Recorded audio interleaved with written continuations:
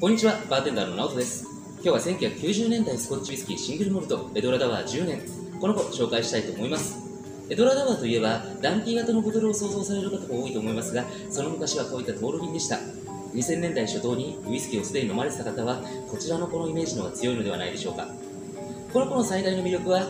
メープルや蜂蜜とは違った香水と蜂蜜を合わせたような気高い香りと口に含んだ時のバター感です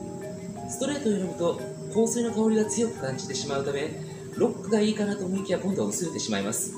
この子を一番美味しく楽しむには水少なめのトワイスアップ。これが一番いいかなと個人的には思います。スコットランドで最も規模の小さい蒸留所エドラダワー蒸留所は創業は1825年。しかし実際に建設が始まったのは1837年と言われています。この子はキングスランサン、ハウス・オブ・ロースといった超大物ブレンデッドウイスキーたちのキーモルトでしたが、2002年にボトラーズ会社のシグナトリー社、こちらが買収してからは、原酒はすべてシングルモルト用となったようです。熟成年数は10年、名前の由来は2つの泡の間、度数は43度、見かけたらぜひ飲んでみてください。それでは今日は1990年代スコッチウイスキー、エドラダワー10年、飲んでみたいと思います。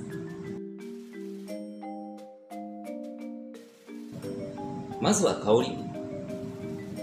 気高優しいけど香水みたいなそして味。う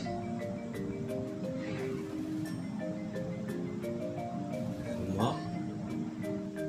この子は果物の木々に囲まれた牧場を住みかとする妖精族の女の子。所作はとても気高いけれども結構素朴な性格で人族ともかなり仲がいいそんなイメージの子です。